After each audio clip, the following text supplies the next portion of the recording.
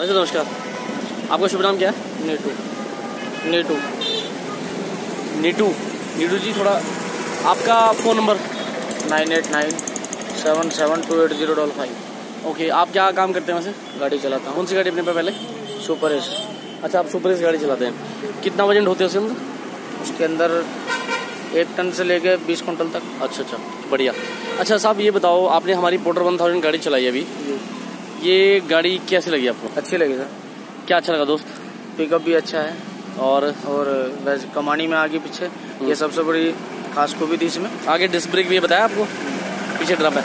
और स्टीयरिंग वगैरह कैसा लगा हल्का? है बिल्कुल सॉफ्ट है Gear वो इसी के बारे में बात कर रहा था मैं। हाँ, और गियर अच्छा गियर शूटिंग वगैरह कैसी लगी? बढ़िया स्मूथ कोई दिक्कत परेशानी? नहीं। आपके हिसाब से ये गाड़ी खरीदी जा सकती है? हाँ।